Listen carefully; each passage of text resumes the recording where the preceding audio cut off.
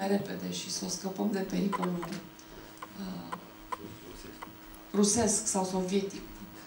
Uh, vă aduc aminte că Putin a zis în 2005 că până în 2015 reface una sovietică și n-a uitat să-și aducă aminte.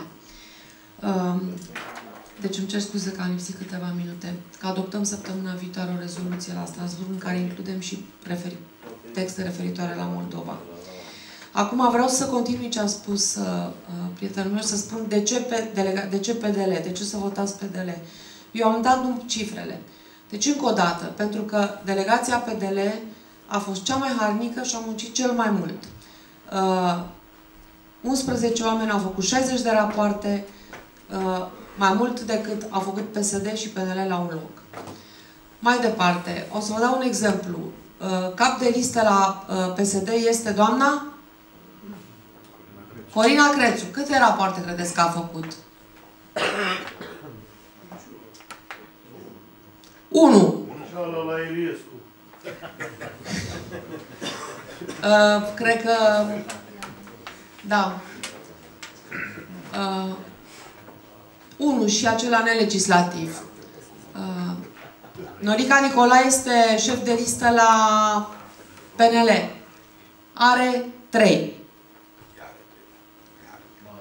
Comparați cu noi, deci, mai departe. Uh, doamna Daciana Sârbu, care declarase că după ce uh, soțul ei va fi prim-ministru, nu va mai pleca la Bruxelles și se va ocupa de familie și de soț și de... va fi nevastă de prim-ministru, uh, mai candidează o dată. Dar, în fine, câte rapoarte credeți că a făcut? Adică legi, ca să spun pe românește. Tot unul. Avem și cu zero, dar las o parte pe cei cu zero. Deci pentru că am muncit cel mai mult. Mai departe, sigur, trebuie să știți că pe fonduri europene, chiar dacă n-am făcut publică această informație, uh, dar am stat în legătură cu cei din guvern, am ajutat tot timpul și am ajutat România aici, da? Dacă România n-a putut, indiferent de cine și de ce partid a fost, n-a putut să cheltuie uh, fonduri într-un anumit domeniu, uh, le-a mutat în altă parte sau dacă expira termenul și iarăși nu se cheltuiau, diferența necheltuită o mutăm în altă parte unde se pot cheltui. Toate asta înseamnă că negociezi cu Comisia, după aia se schimbă prin decizie, uh, printr-un raport sau rezoluție în Parlament. Deci facem asta tot timpul.